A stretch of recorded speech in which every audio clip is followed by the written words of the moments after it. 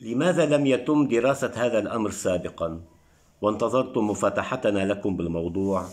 كون من شأن هذا الأمر أن يوضح ويكشف لكل الشعب اللبناني حقيقة ما حصل في المرفأ لناحية ما إذا كان الموضوع تفجيرا أو انفجارا.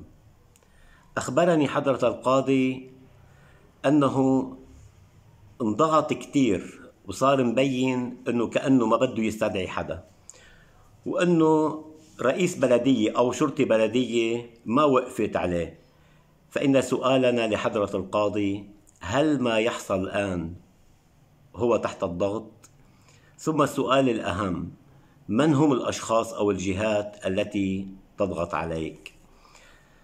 أما الصدمة الكبرى في كلام حضرة القاضي فهو أنا عرفت كل شيء وأعادها أكثر من مرة والباخرة روسوس كيف دخلت وهل هناك مؤامرة أو خارجة عن المؤامرة؟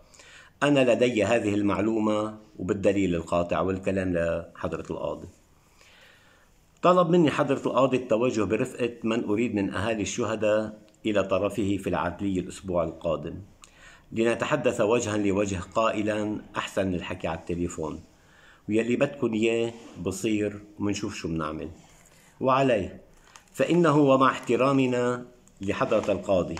كيف له أن يقول لنا في جريمة بحجم تفجير المرفأ تعوا منحكي ويلي بدكن إياه أبلغني حضرة القاضي أن نتيجة التحقيق التقني نشرته قناة ال بي سي ومخابرات الجيش. بالإضافة إلى كلام آخر تحدثنا به سويا لسنا الآن في معرض ذكره.